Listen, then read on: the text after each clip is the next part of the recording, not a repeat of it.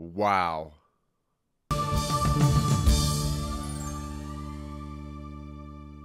What's going on, everyone? Welcome to Movie Emporium's movie review of Flow, the newest film from director Gints Zilbalodis. Okay. Uh, uh, okay. Uh, Flow. Flow is a animated film from Lat- Latvia that is about a cat who finds itself in the middle of a flood, ends up befriending, in a way, a capybara, a lemur, and a dog, as well as a stork. And they go on an adventure as they try to survive this once in a lifetime flood that we have no idea what's happening.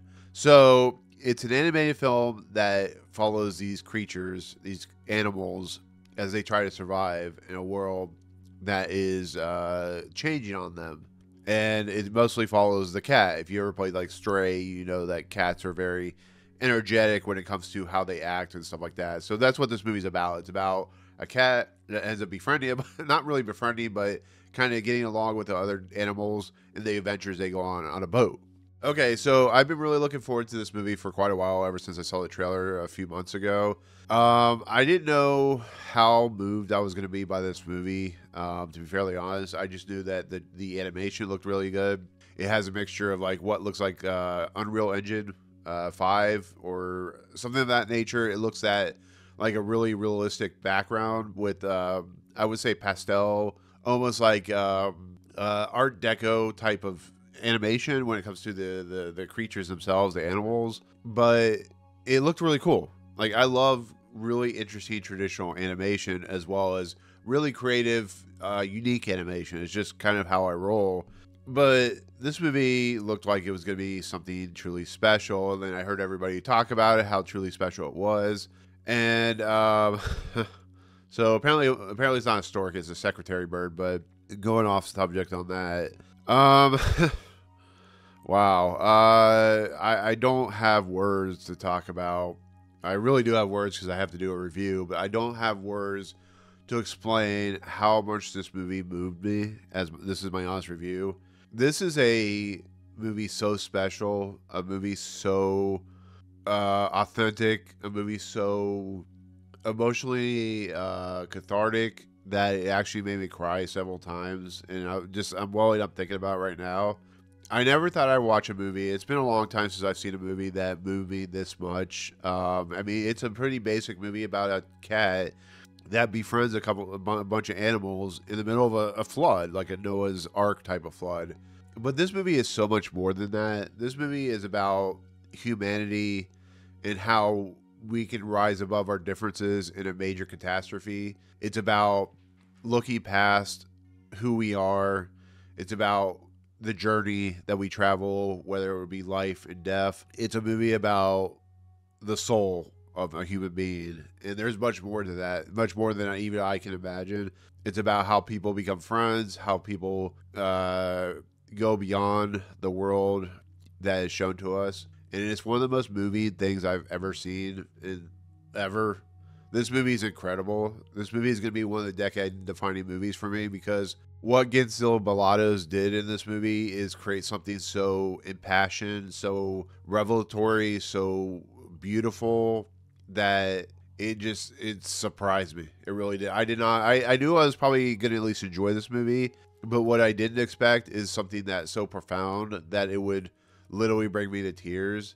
Um, the other great thing about this movie, the other really kind of amazing thing, is how realistic these animals are. The amount of time that Gints and his crew of people probably spent studying these animals is shown on the screen. That's the one thing that Pixar's always been Pixar or any studio of animation, Blue Sky that used to be, is really good at is really studying the the way animals move, the way they act, the way they react to things. But these animals move in naturalistic ways. The cat gets scared. The cat's meowing when it's afraid. It, it hisses. It it learns. It, it, acts like a cat. The same thing with the capybara and the, the secretary bird and the the lemur. They all act like they would act. You know, they also have humanistic abilities where you know the cat learns and it learns how to, you know, be a kind of humanistic in a lot of ways. The same thing with like the capybaras who is like uh, using the boat to steer, and then you know the secretary bird who feels like somebody that you know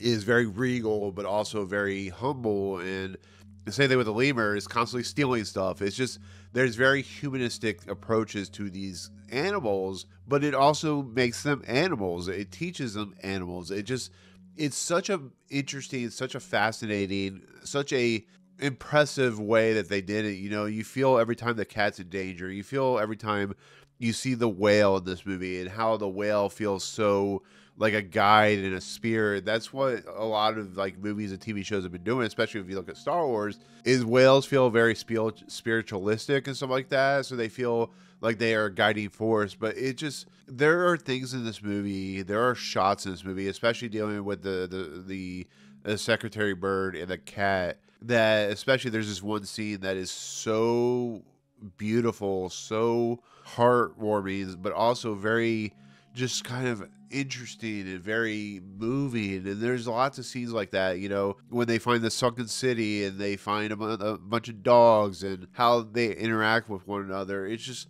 everything about this movie is just absolutely wonderful, absolutely just uh, beautiful and cathartic and empowering. It's just, I can't tell you what this movie did to me because it, I can't tell you in so many words. It, you have to feel this movie because once you watch it, you watch like the heartache you go with in the adventure with this cat. You watch the the the scariness, but you also watch the wonder, the beautiful, and you watch like the you see a bunch of lemurs, and you just see everything about this. They go through a storm, and they go through every emotion that we go through, whether it be the darkness of our soul or the lightness that we surround ourselves with, or the friendship. It just this movie is astounding. This movie is so good. It's it blew my mind how much I was I was sucked into this movie. I watched it twice.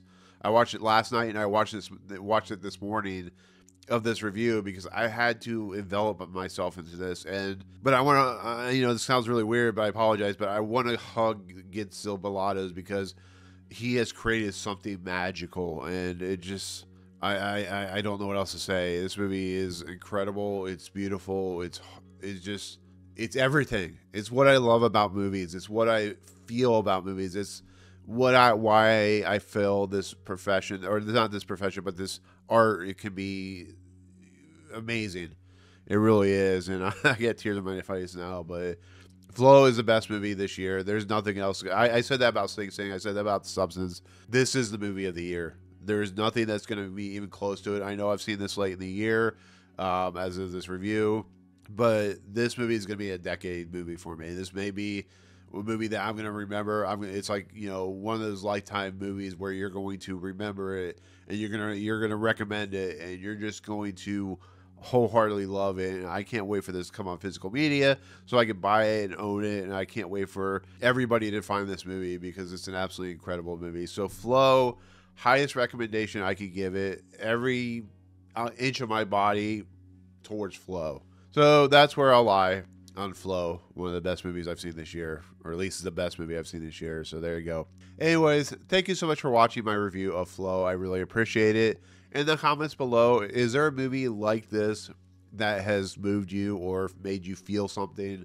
And tell me why in the comments. But otherwise, thank you so much for watching. If you like what you see on this channel, awesome. Hit the subscribe button, the Jordan Movie Emporium. Hit that notification bell at top to find what's coming next. If you like this video, awesome. Hit that like button. And as always, we'll see you guys on the next video. Peace out, guys.